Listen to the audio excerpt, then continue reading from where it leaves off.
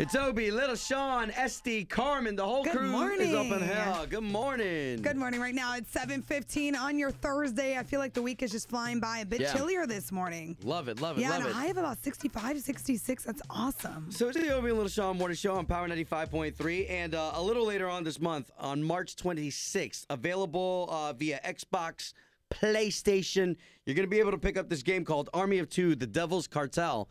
What makes this interesting is it's kind of one of those Call of Duty type games, but it features B.O.B., the artist, and Big Boi from Outkast.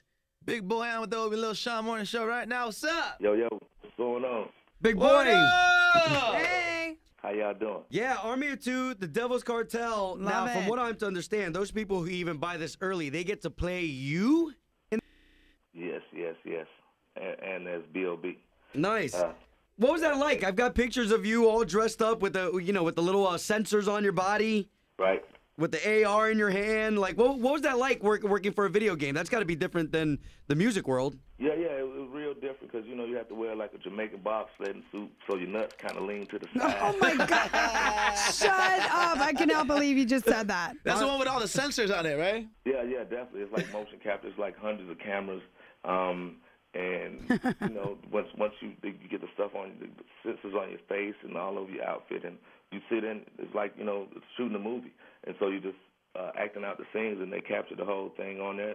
And it's, it's real dope, man. It was an experience. It took like seven hours to do that part of it. All right, so onto the power lines right now. We love opening the power lines for you to ask our power artists whatever you would like at 407 295 9595. Coco, you on with Big Boi from Outkast. What's up, big Boi?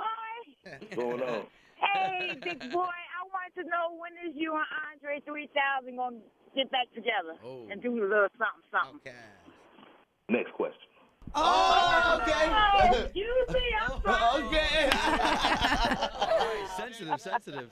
All right, so Jessica Altamonte Springs, What you're up, on with Jess? Big Boi of Good morning. What's up? Good morning, guys.